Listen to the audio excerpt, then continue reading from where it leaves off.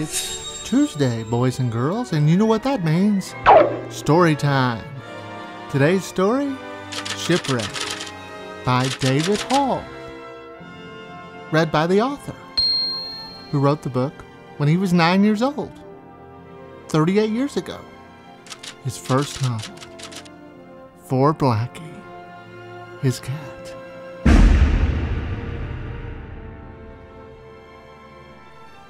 You can see the table of contents here, all the pages numbered in the little Mead notebook that I think cost 19 cents at the time in 1973. Note from author The people in this book are not true. In fact, this story is not true. Some events in this story may have happened, but the story is not true. Signed, David Hall. Printed, David Hall. Chapter 1 Marooned. The waves were getting bigger. Ship begun to rock. What is it? asked the captain. It's a storm, answered the first mate, John. Should I alert the crew? No, yelled the captain.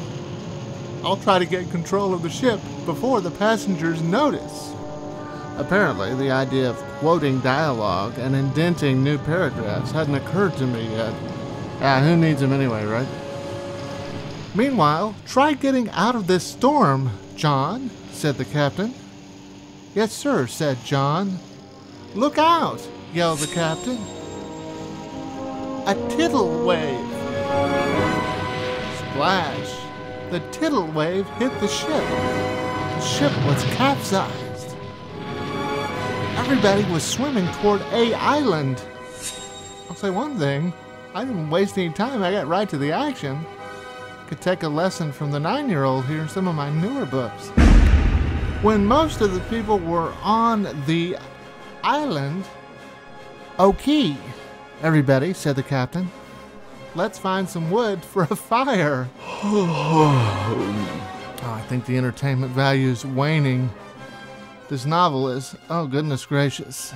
No. What will happen?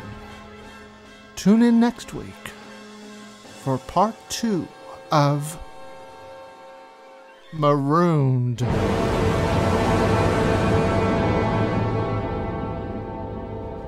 Own your very own copy of Shipwreck for $8.99. Call 1 800 238 3300. That's 1 800 238 3300. Call within the next 10 minutes and we'll send you a free copy of Shipwreck for only $8.99. Call 1 800 238 3300. Call today.